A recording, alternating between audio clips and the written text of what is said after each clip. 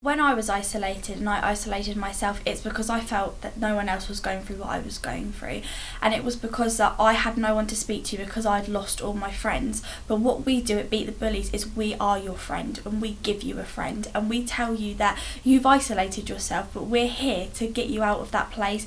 We're here to let you out of that prison that you've been keeping yourself in for such a long time. And we're there to, you know, to we're not forcing a friendship, but we're there to say, do you know what? Look at our success. Look at the people that have come out and who've been bullied, and look at the light at the end of the tunnel. And that can be you, and that's what we're here for. It's all exciting at the moment. We're just preparing for launch at the end of the summer uh, this year. Um, once we launch, we've got a website which is www.beatthebullies.org. Um, which O2 are kindly building for us, and that will be available to everyone across the whole of the UK and um, also children in the local area are actually running the chil- children's charity. So it's a children's charity for children run by children. People can come to and talk to volunteers all the time whenever they need to, and also get contacts, um, get taught how to use music as a therapy, and um, we also are um, we're continuing to raise money and do big fundraisers, and we have big fundraisers coming up like black black tie events, and it's all so exciting.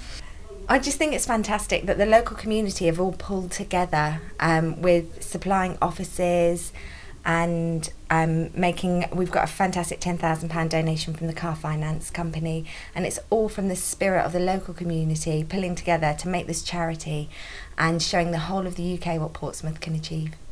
Currently, we're in a very tiny office with a lot of people that need to be here all the time to work, really.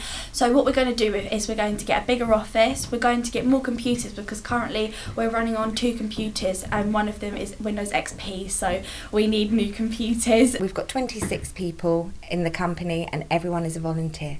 Our volunteers are um, um, the majority are children who have actually been bullied themselves.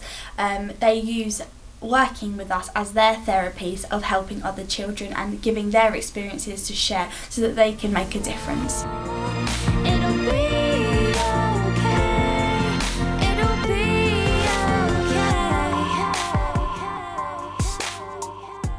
I think the main thing that I want to get across is that if you are being bullied, I know how scary it is, and I know that you feel isolated and alone, and that you don't want to tell your parents because believe me, I didn't want to tell mine.